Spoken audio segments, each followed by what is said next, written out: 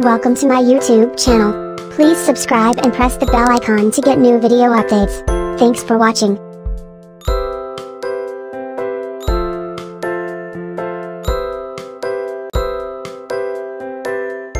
A moving average consists of a series of averages, where each average is the mean value of the time series over a fixed interval of time. Using this method, the trend obtained will be nonlinear. The following example shows the time period as quarters where the year has been divided into four quarters. In this case, if we are using the moving averages method to compute the trends, then we should compute the trends as a series of 4-quarter moving average. In this video you will learn how to calculate 4-quarter moving average in time series and how to center the trend.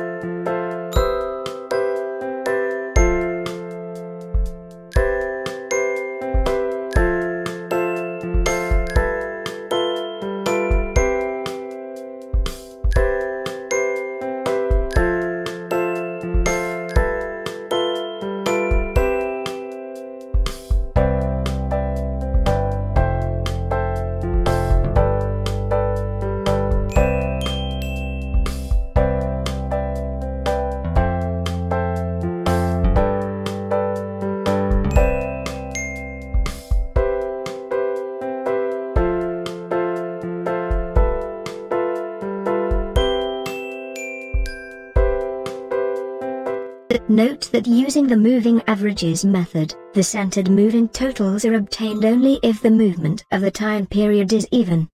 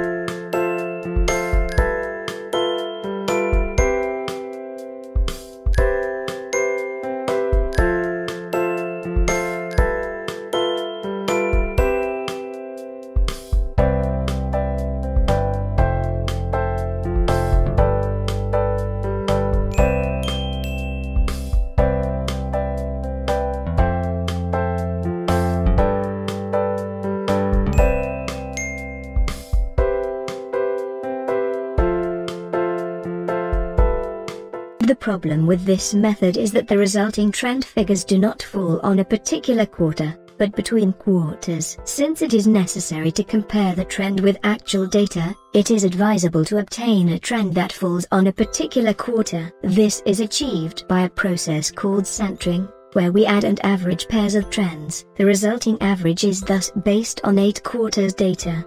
In obtaining the trend values for each time period, the centered moving total for each time period is divided by the even time period times 2. For example, if the 4-quarter moving averages method is used to compute the trend values, then the trend value for each quarter is obtained by dividing the centered moving total of each quarter by 8.